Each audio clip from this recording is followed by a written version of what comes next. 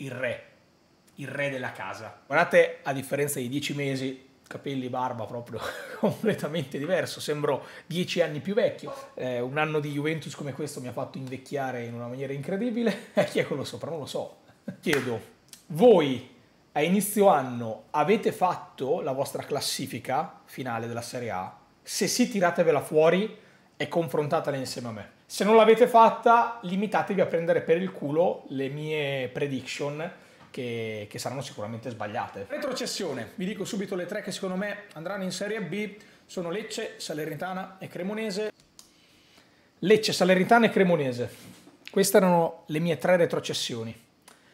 Ero convintissimo che potesse andare giù la Salernitana, ma proprio convintissimo. Invece si è salvata con 42 punti. Ero convintissimo che potesse andare giù anche il Lecce, si è salvato con 36 anche se è stato lì lì per andare giù, si è salvato il Verone in extremis, non ho beccato eh, le, le, Liguri, diciamo così, eh, perché appunto è retrocessa lo Spezia insieme alla Sampdoria e quindi una su tre sulla retrocessione. Perché abbiamo appena visto sono squadre che faranno circa una trentina di punti, visto che anche... Circa una trentina di punti. Minchia, la Sampdoria ha fatto 19, la Cremonese 27, lo Spezia 31 che l'anno scorso la media salvezza sembra essersi abbassata notevolmente, una volta era sui 40, adesso con 40 dovresti... Adesso ti salvi con 31, cioè il Verona si è salvato con 31. Dovresti essere salvo tranquillamente e eh, assolutamente blocco sì. sono le squadre che lottano per la salvezza, quelle che potrebbero essere risucchiate, vediamo, vediamo. quindi squadre che dovranno stare attente.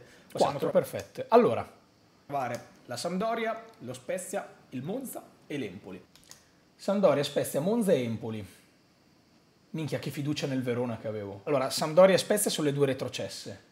L'Empoli poteva essere risucchiata nel vortice e il Monza invece ha fatto un campionato allucinante. Il Monza ha fatto un mercato che per una neopromossa in Serie A è roba da sogno veramente, eh sì. si vede l'esperienza di Galliani e la proprietà di Berlusconi che in tanti anni hanno fatto bene al Milan e hanno fatto benissimo. sta vivendo un sogno perché ha comprato davvero dei calciatori di assoluto livello però credo che queste quattro squadre possano essere quelle più interessate alla lotta per non retrocedere. È vero che il Monza ha fatto un ottimo mercato, ma questo non sarà sufficiente, sarà necessario cercare di capire se è una squadra pronta, attrezzata per cercare di salvarsi.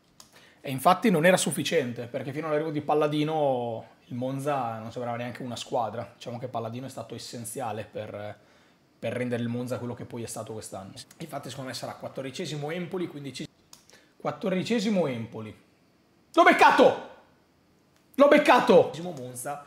Non l'ho beccato. Sedicesimo a Samp, diciassettesimo Spezia. Samp. Ho beccato l'Empoli, quattordicesimo. Forza Empoli. Grande Empoli, la mia squadra del cuore di sempre, da quando ho vinto la Champions League con Giovinco, Gilardino e Messi in attacco quando avevo tipo 16 anni, 15. Sì, le ho chiamate in lotta, però avevo dato un po' troppo fiducia, la Samp proprio ha fatto il disastro. Lo Spezia in lotta ci poteva stare, ha perso il playoff. Eh, il play out. E, però non, non, avevo assolutamente beccato il Verona, quindi Verona e Monza sono le due che ho invertito. Queste sono squadre che secondo me faranno intorno ai 30-40 punti, quello della metà classifica, quindi squadre che faranno tra i 40 e i 50 punti giù di lì. 5 squadre che faranno tra i 40 e i 50 punti. Ah, dai, meno male ci sono. Allora Sassuolo-Bologna, ecco. Qua viene fuori l'Ellas che invece non avevo assolutamente beccato. Però il Sassuolo il Torino, il Bologna e l'Udinese, sì, le avevo messe in questa... Sono squadre che probabilmente non rischieranno la retrocessione, a meno che... Eh, Verona ti è andata bene invece. Che non succeda qualcosa di incredibile, per dire, la Sverona e l'Udinese forse sono quelle che, che, rischiano un po' di più di aggrapparsi al treno più basso, quindi essere succhiate per la lotta alla salvezza. Quindi Questo nono sì. Torino. Nono Torino. No, ho messo il Bologna! Decimo Sassuolo. No, ho messo il Torino. Undicesimo Bologna, dodicesimo Udinese. Dodicesimo Udinese l'ho beccata. Empoli Udinese, beccate nelle posizioni Tredicesimo Verona che non proprio. Ha cambiato tanto, queste due ultime due squadre no, hanno cambiato proprio. tanto, secondo me non avranno problemi a salvarsi, però il rischio di essere risucchiati verso il basso c'è sempre. Perché le altre comunque le davo all'interno della lotta. Verona e Monza sono le uniche due fino adesso che ho cannato completamente. E direi di passare invece a tre squadre che secondo me lotteranno sull'ordine dei 60 punti per cercare di giudicarsi l'accesso alle coppe europee. Sull'ordine dei 60 punti. Allora, qua c'è da considerare ovviamente i 10 punti della Juve, perché la Juve ne avrebbe fatti 72 al pari dell'Inter, ok? Qua invece proprio le ho, le ho, le ho cannate completamente. Allora, qua tre squadre sull'ordine dei 60 punti. Quindi con i 10 alla Juve, queste squadre nella realtà sono Fiorentina 56, Roma 63, Atalanta 64. Atalanta, Fiorentina e Lazio. Ho invertito la Roma con la Lazio. Secondo me la Lazio arriverà sesta. Eh, no. cioè, no. Eh, come ho fatto a non prevedere i meno 10 la Juve? Scemo io, scemo io. Sarri mi sembra l'allenatore più indicato per questi livelli, ha già vinto anche eh, in Europa, ha fatto decisamente di più con noi, ha fatto decisamente di più. Scudetto, l'ultimo scudetto della Juventus, al settimo posto la Fiorentina, ottava. Settimo posto Fiorentina, no, è arrivata ottava, mancata una posizione. Ottavo posto l'Atalanta, ma Ottavo posto l'Atalanta, no, perché è arrivata sesta con eh, lo scalo. Cazzo, ci sono andato vicino con l'Atalanta e la Fiorentina. Perché ora rimane lo scudetto e la zona Champions, però Ok. c'è un problema, ci sono cinque squadre e sono Milan, Inter, Napoli, Juventus e Roma. Ora, qua c'è da fare un bel discorso, un bel discorso fatto bene e per farlo Dicelo. credo che sia necessario ragionare su quello che è stato il mercato. Partirei dal Napoli, perché Io ve lo dico, qua faccio la più grande gufata nella storia del calcio. In assoluto, oh, non era mica facile dire una cosa così e farla realizzare, eh. Io vi preparo. ha comprato un giocatore con un nome impronunciabile, Questo fa già ridere. Sheila, capito, ma non l'avrò mai nominato bene. Ma dai! ma- E questo è diventato Maradona, ma non è questa la gufata. Ma non è. Un giocatore con un nome impronunciabile, è tipo Maradona reincarnato, va bene. Sta trattando Raspadori, sta trattando Keylor Navas con il PSG, quindi una squadra ancora ad oggi incompleta, il Napoli. È vero, perché qua non aveva ancora completato il mercato il Napoli. Diverse partenze pesanti come Koulibaly, Insigne, Mertens e potrebbero aggiungersene anche altre perché da quanto leggo Fabian Ruiz è sempre un giocatore che potrebbe lasciare lui. città, il capoluogo campano. Ha un allenatore, Spalletti, specializzato nel riuscire a portare le squadre almeno in posizionamento Champions, con qualche problemino in più a portarle al livello successivo, lo dice la sua storia, però un allenatore sicuramente capace, ma con una squadra completamente diversa in mano. Devo dire la verità, io l'anno scorso sono stato sorpreso dal Napoli perché eh, non aveva fatto mercato nella stagione precedente, aveva dato praticamente la stessa squadra di Gattuso in mano a Spalletti e Spalletti è stato molto bravo perché ha dato anima e gioco al Napoli e per lunghi tratti del campionato si pensava potesse addirittura essere l'anno dello scudetto dopo tanti anni di astinenza. Lo lascerei un pelo più indietro, passerei alla Roma, ok?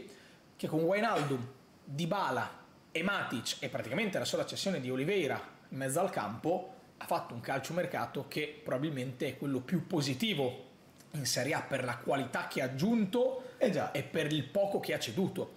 Aggiungiamo inoltre che Mourinho è uno degli allenatori più vincenti degli ultimi anni, degli ultimi- dell'ultima decade, e che l'anno scorso è riuscito a riportare un trofeo addirittura europeo nella città di Roma, in una squadra che non alzava un trofeo da troppi anni. Quindi sicuramente il progetto Mourinho è partito con il piede giusto, il mercato di quest'anno è un grandissimo mercato e vedo una Roma veramente attrezzata per poter inseguire perlomeno il posizionamento Champions.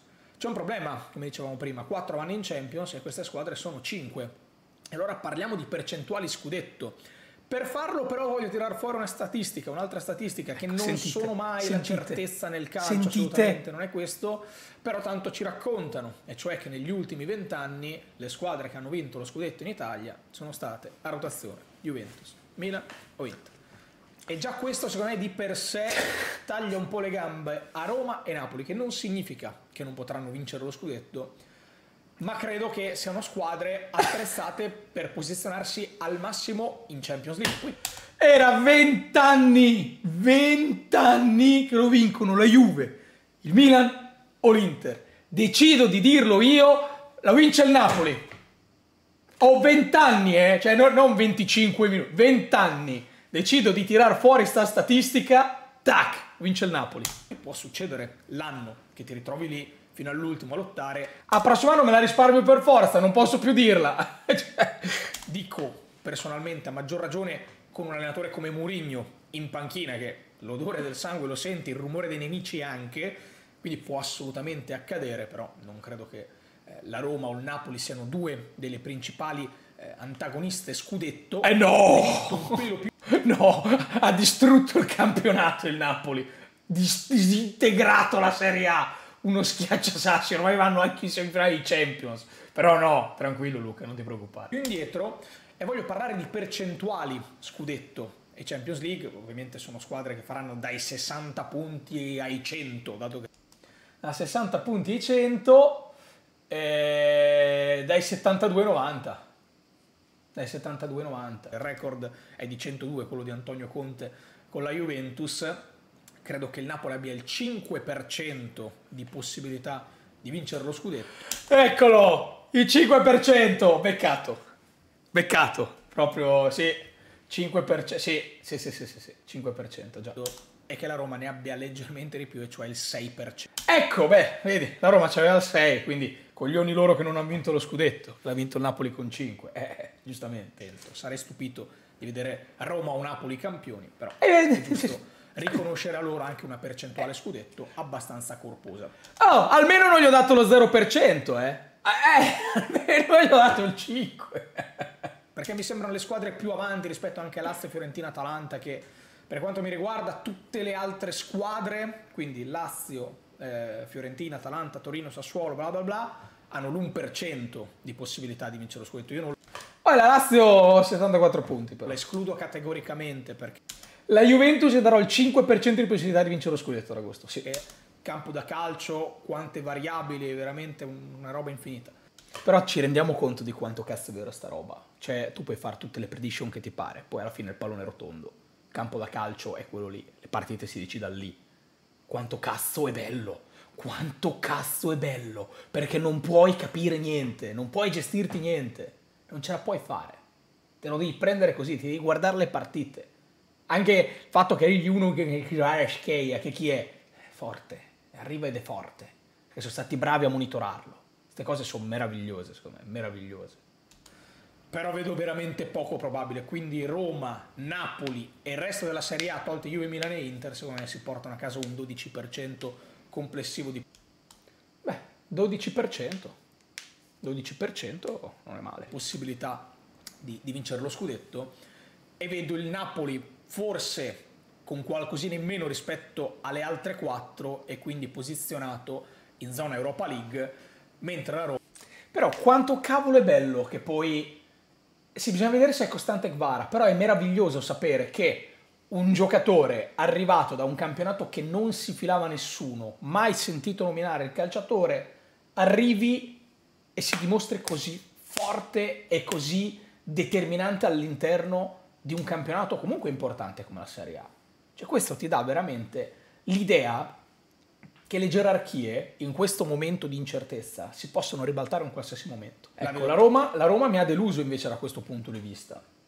La Roma mi ha, mi ha, deluso, perché secondo me la Roma era una di quelle squadre che poteva assolutamente pigliarsi la Champions, anche considerato comunque l'exploit del Napoli, perché il Milan quest'anno è stato secondo me la squadra più deludente in assoluto. La squadra più deludente in assoluto. Quindi la Roma, secondo me, quella posizione lì poteva, poteva prendersela. La Roma ha sbagliato probabilmente delle partite. No, il flop più grande per me è il Milan, non la Roma, il Milan. Ora ci sono le tre sorelle e cercherei di ragionare partendo dai campioni d'Italia, perché è vero che hanno ceduto che sì e Castillejo, però... Castillejo? Ma non, ric- ma non me lo ricordavo mai, mi sembra passati 200 anni. Però hanno aggiunto la rosa De Ketteler, Orighi, Adli e Pobega.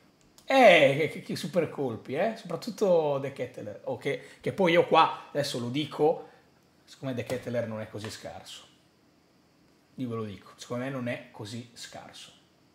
Poi non significa che, che sarà un fenomeno, però secondo me non è nemmeno quel meme vivente che è diventato adesso. Me non se lo merita, lo diventa per quello che è stato pagato e per quello che ha mostrato, ma secondo me almeno un giocatore normale lo può essere E il Milan l'anno scorso ha vinto, ha vinto con merito, ha vinto probabilmente avendo neanche la rosa più forte d'Italia, Vero. probabilmente era la seconda o la terza rosa italiana sì, sulla carta, però ha vinto.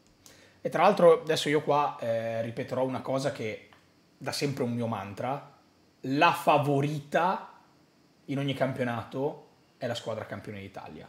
Quindi, lo dico già adesso, per me la favorita anche l'anno prossimo sarà il Napoli, perché per me chi vince parte sempre un passo avanti a quegli altri. Poi perché il Napoli magari andrà a smantellare la squadra e quindi dovrà ricostruirla. E aggiunto al motore Lukaku, Aslani, Bellanova, Mkhitaryan e Onana. E Acerbi che ancora qua non c'era ed è stato credo uno dei giocatori migliori della stagione dell'Inter. Non è arrivato di bala, certo, dato alla Roma di Mourinho, però credo che il mercato dell'Inter sia stato di assoluta qualità. È stato un buon mercato quello dell'Inter, soprattutto con poche risorse in realtà. È stato un buonissimo mercato. Ha speso tanto sugli ingaggi ma non sui cartellini. E che ora l'Inter possa veramente ritrovarsi con un attacco da scudetto, ma per un'ovvia ragione. Lo scudetto, quell'attacco l'ha già vinto, quindi bene o male eh, l'Inter certo. è tornata forte, fortissima, con un centrocampo fortissimo, con degli esterni decisamente forti. Bisognerà vedere Gossens come ritornerà di Marco gli ha dato 10 a 0, ad essere un titolare, una difesa fortissima, in porta c'è già l'erede di Andanovic, vedremo chi giocherà titolare, Inzaghi ha detto che giocherà Andanovic, ma infatti è iniziato Andanovic e poi Onana si è preso la sua parte. Non ne sono convinto, quindi l'Inter ha tutte le carte in regola per vincere il campionato. In Serie A è stata una delusione incredibile secondo me l'Inter, incredibile l'Inter. Poi ha vinto due coppe, ha fatto finale ai Champions, ma in campionato ha, fatto, ha avuto degli alti e bassi francamente incomprensibili.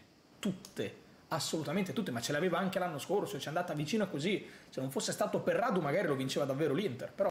Che ovviamente non significa che l'ha perso per Radu, però quell'episodio sul finale del campionato è stato determinante. Vedete, una delle tante variabili all'interno del campo, quella e infatti l'Inter si è coperta quella posizione ha preso un altro portiere che può essere virtualmente un titolare e poi magari sarà un titolare adesso voci da 40-50 milioni sulla cessione, direi che mica male.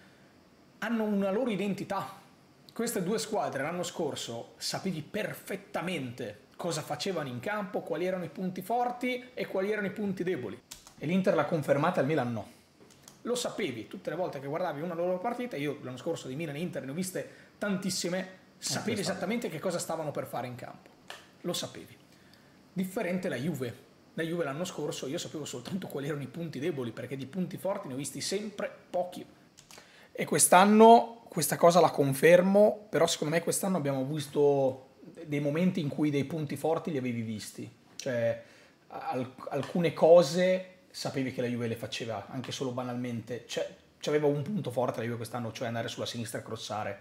L'anno scorso non c'avevi neanche quello. Il centrocampo a tre che aveva trovato una sua stabilità i tre difensori che avevano iniziato a giocare bene tra di loro. Poi davanti era un po' più complicato, però qualcosina in più rispetto all'anno prima la Juve l'ha aggiunto. Poi se devo dirvi che ci vogliono due stagioni per arrivare al punto in cui è arrivata la Juve, beh, vi dico che è francamente inaccettabile. E tante volte ci siamo ritrovati qua nei post partita a dire abbiamo vinto sì, ma come? Non abbiamo capito nemmeno noi. Non ce l'avevamo un'identità, non sapevamo Questo cosa dovevamo fare una volta recuperata palla o quando stavamo gestendo il pallone. Tante volte ci siamo salvati e poi salvati mi sembra anche eccessivo perché alla ah, fine abbiamo portato a casa zero trofei, abbiamo perso due finali con l'Inter, siamo arrivati al quarto posto, però quest'anno addirittura peggio invece da questo punto di vista, caro Luca. E chissà quello dell'anno prossimo che cosa dovrà dire. Siamo salvati magari per un rimpallo, un autogol, un'azione, un rigore, un, un rigore parato da Scesni e, e, tutte queste uguale. Cioè, ancora una volta è Scesni che, che ti ha salvato il sederino inutile. Qua, cioè, banalmente mi viene in mente la partita di Roma dove Madonna. una rimonta 3 a 4 Te la ricordi, incredibile che ricordi. noi in questo momento sappiamo come sia potuto accadere. Sono stati tutti episodi che per l'amor di Dio nel calcio ci stanno ma non può essere solo quello. E allora qua interviene l'allenatore interviene Massimiliano Allegri. E perché io continuo a dirvi che Massimiliano Allegri quest'anno avrà una responsabilità grossa? Spoiler. No perché l'anno scorso è mancata clamorosamente per quanto mi riguarda la mano di Allegri. La gestione dei cambi, la lettura della partita, l'anno scorso queste cose io in Allegri non le ho viste, Neanche non ho mai visto giuro. dare un'impronta alla squadra. Semplicemente la squadra andava in campo, faceva il suo, faceva magari poco possesso palle, pure sterile, e quando capitava un piazzato, un'occasione, si buttava dentro il pallone, ma poi questo si è tradotto in una stagione terrificante per la Juventus. Non, non so come dirtelo Luca del 2022 si è confermato Massimiliano Allegri, si è deciso di andare avanti con Massimiliano Allegri, si dà ancora fiducia a Massimiliano Allegri e va benissimo, però adesso serve ripagare questa fiducia. È incredibile come questo stesso discorso vada bene anche quest'anno, identico, però quest'anno non si parla più di fiducia, ma si parla di vincolo, di obbligo contrattuale per una ragione economica. È lo stesso identico discorso, ma quest'anno con un punto di vista differente che è peggio, che è peggiore di quello dell'anno scorso. La Juventus ha aggiunto sì Bremer, ha aggiunto sì Pogba, ha aggiunto sì Di Maria, ha aggiunto sì Kostic, è tornato Fagioli, è arrivato Gatti, tutti nomi di qualità o giovani interessanti o comunque abili mestieranti, ottime riserve, come nel caso magari di Kostic. E invece il cazzo, cioè Kostic che l'anno scorso eh, io mi aspettavo backup di Chiesa perché qua mi immaginavo di giocare 4-3-3, mi immaginavo Kostic gioca i primi mesi, torna a Chiesa, gioca a Chiesa Kostic abile mestierante, riserva affidabile, titolare, inamovibile, eh, anche per la prossima stagione. Cioè, vedete quanto cambiano poi le valutazioni e robe del genere. Eh, ma Kostic te lo immaginavi riserva, non pensai di giocare a 3-5-2, eh, pensai di giocare a 4-3-3. Però la Juventus ha perso D'Elite, Chiellini, Dybala, Morata, Bernardeschi, Elite è il giocatore che ha giocato più minuti nella Juventus, Di Bala era il capocannoniere, Morata era l'uomo di Allegri, veramente l'uomo di Allegri, che giocava sempre quando era a disposizione. Bernardeschi è un altro di quelli che, ragazzi, Bernardeschi ne ha giocati di minuti, eh sì, ne ha giocate di partite. Anno, sì. Chiellini era il capitano. Quindi anche la Juve aveva fatto un cambio importante come il Napoli, però quello del Napoli ha pagato, quello della Juve no. Infatti il discorso non è mai cambiare o non cambiare, cioè non è che la strada giusta è cambiare o la strada giusta è confermare, cioè non funziona così, dipende come cambi. Juve, Milan e Inter, ecco, questo è un discorso molto interessante secondo me da fare adesso, perché ecco, io non sono d'accordo, secondo me il mercato l'anno scorso a Juve è stato un buonissimo mercato, e quello prima ancora, quello di quando ritorna Allegri che è un mercato vergognoso, invece quello, l'ultimo che abbiamo fatto estivo secondo me è stato un buon mercato per quanto mi riguarda la Juve e l'Inter hanno ancora le rose migliori del campionato. La Juve ha smontato e rimontato una squadra. Non so dirvi se è più forte o più scarsa l'anno scorso, non abbiamo visto ancora nemmeno un minuto di partite ufficiali. Secondo me è più forte perché anche l'idea di avere uno come Kostic che te lo immaginavi riserva, d'accordo, invece è arrivato e, ed è stato un giocatore importante. Bremer per come è arrivato ha dimostrato che subito. Eh, peccato per Pogba che non si sia visto, ma Di Maria, anche se non aveva dato subito eh, quella continuità ti faceva vedere che da un momento all'altro le giocate te le poteva fare. Secondo me la Juve dell'anno scorso era decisamente più forte di quella del primo anno della Ligri bis, anche il fatto che torni dentro uno come Fagioli si dimostri subito pronto, cioè Milik che non mi aspettavo forte e invece guarda come è stato determinante nella prima parte di stagione, prima un po' dell'infortunio, prima del calo da parte di tutti. Secondo me la Juve dell'anno scorso, Gatti stesso che non mi aspettavo già pronto per essere un titolare, secondo me la Juve dell'anno scorso era decisamente più forte di quella prima e la Juve dell'anno scorso insieme all'Inter erano due squadre più forti. Poi hanno vinto il Napoli e poi aveva vinto il Milan l'anno prima, ma la Juve e l'Inter secondo me hanno sempre avuto le squadre più forti sia di Napoli che di Milan. Il blocco difensivo, il reparto difensivo della Juventus non mi fa dormire sogni tranquilli, però se valuto le rose nel complesso, la Juve e l'Inter sono un passo avanti rispetto a tutte le altre in Serie A questa è una delle poche cose che anche a distanza di 11 mesi, anche come è andata la stagione, vi confermo. Cioè, ne ero assolutamente convinto all'epoca, ne sono assolutamente convinto adesso, perché la Juve e l'Inter, secondo me, sono le due squadre che hanno le rose migliori in Serie A. Al di là del fatto che gli ultimi due squadre li abbiamo vinti Milan e Napoli. Questa è un'altra storia. Significa che hanno reso di più e reso meglio. Però le, le rose più forti, secondo me, ce l'hanno Juve, Juve e Inter anche in questo istante, anche al 3 luglio 2023. Inter e Milan hanno un'identità, cosa che in questo momento la Juve non ha e che non ha avuto tutto l'anno scorso e poi magari adesso ce l'ha, ma la scopriremo ovviamente yes. scendendo in campo, è sempre il campo che ce lo dirà, ma fino ad oggi possiamo dire che l'anno scorso non c'è stata e Milan Inter invece l'hanno avuta. E quindi già questo forse ti mette la Juve un pelo indietro. Però la Juve ha fatto un gran mercato di qualità e deve ancora concludersi, questo, questo arriverà ancora qualcos'altro. Forse l'Inter ha perso qualcosina anche a livello di fiducia per quello che è stato lo scudetto perso l'anno scorso, ma qua dovrà essere bravo anche qui, come nel caso Allegri, Simone Inzaghi. E Simone Inzaghi è uno degli allenatori che mi sta più antipatico in Serie A, però gli va riconosciuto il fatto che l'Inter è stata la squadra più coerente negli ultimi anni, perché ha lavorato bene la società e perché purtroppo ha lavorato bene anche Inzaghi. Ripeto, è uno di quelli che mi sta meno simpatici, però credo che il lavoro di Inzaghi sia, sia stato evidente, anche se quest'anno ha fatto una bruttissima stagione in Serie A, però stiamo parlando di una squadra che negli ultimi due anni ha vinto due Coppa Italia, due Supercoppe, è arrivata seconda per un punto l'ultima giornata, quest'anno è arrivata terza in Serie A certo, però ha fatto una finale di Champions League. La Juve e l'Inter le vorrei mettere un gradino più basse rispetto al Milan per un solo motivo. Per me chi vince lo scudetto è sempre il favorito.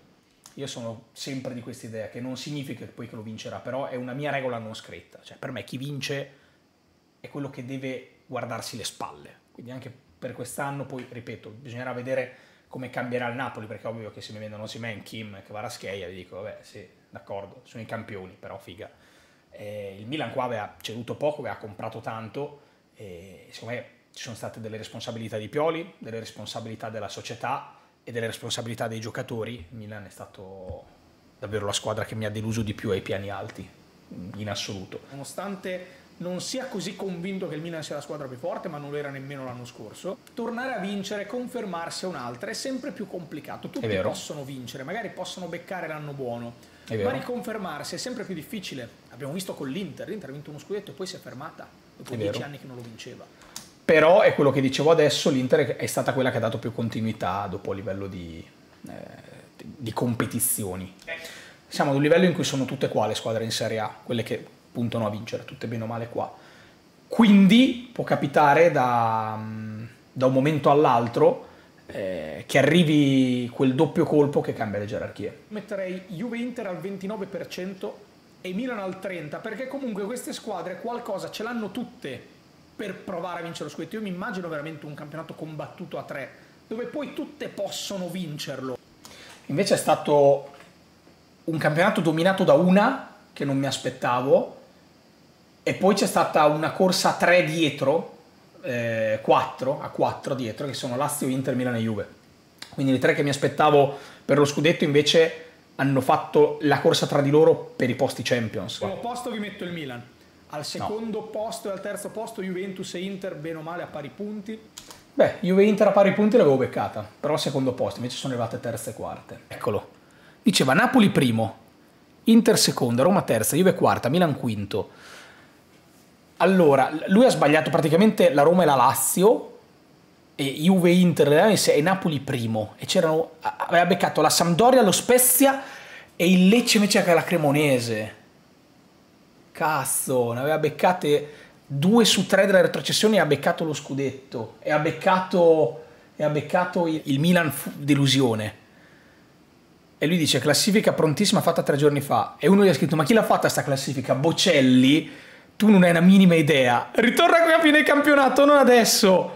Che esagerazione, Tutti non, non, il Napoli non arriva neanche in Europa League, il Milan quinto, mo me lo segno, robe allucinanti, robe allucinanti. E invece poi segnatelo nel Cile, ci vediamo alla fine del campionato. Kenade L364, come cacchio hai fatto?